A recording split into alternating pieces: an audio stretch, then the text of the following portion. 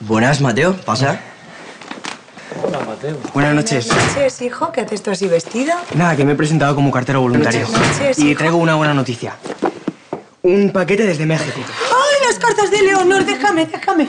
Gracias, hijo, gracias. A ver.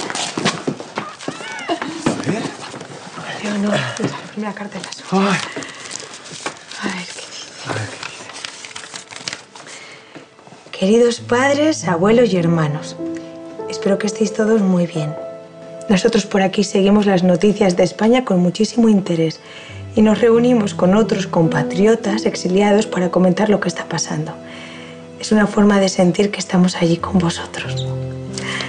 Va, Manuela, por favor, que te vas a emocionar, mujer. Déjame ir a mí. Ojalá pudiera estar ahí e ir con vosotros a votar. Me imagino yendo todos juntos y luego celebrándolo con una comilona en el bar.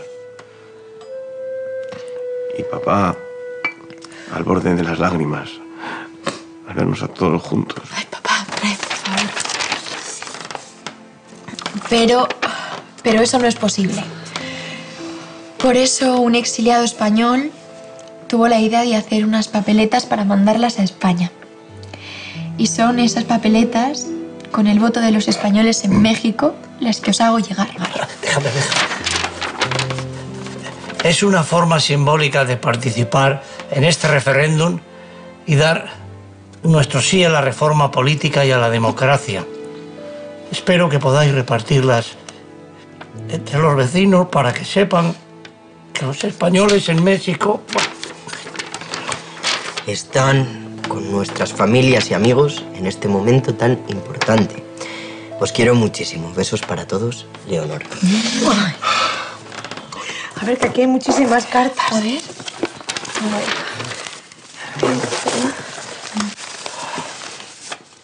Mire, suegro, esta es de Acevedo. Usted tenía buenas charlas con él y con Benito, ¿eh? Sí, buen amigo y mejor persona. Le echo mucho de menos. ¿Qué dice? México dice sí. México dice sí. México dice sí. México dice sí. México dice sí. Gracias, de verdad, gracias.